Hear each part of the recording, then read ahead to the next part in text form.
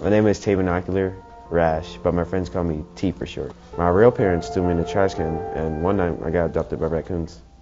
My whole life I was taught to value what I had, and when I see people throw away food, it disgusts me.